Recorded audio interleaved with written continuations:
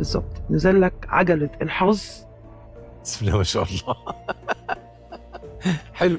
علشان يعني إيه؟ تضيع كل تضيع كل المجهود ده. بالظبط الحمد كده. الحمد لله. طيب خلينا نعرف الكلام أكتر. مم. الموضوع اللي حضرتك هتقعد وهتتكلم فيه ده مم. عانيت منه كتير جدا واتكلمت فيه كتير جدا جدا. مم.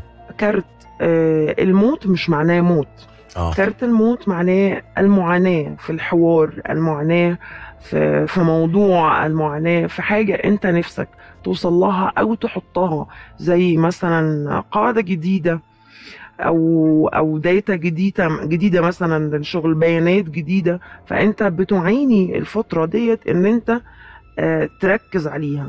طيب و... و... و... ويبان عندك بقى إن شاء الله إن إحنا هنوصل لل... لل... لل... للهدف اللي إحنا عايزينه إن شاء الله. الكارت بيقول آه هنوصل. الحمد لله. آه، الحمد بس لله. في تفكير أكتر. مم. يعني هتقعد وهتفكر كتير جدا آه. مع نفسك. آه، يعني الكارت ده بيدل على إنه في ثلاث قرارات هيتاخدوا وفي آه. قرار مبطن. مش هتطلعه دلوقتي هيكون الكارت الأخير. مم.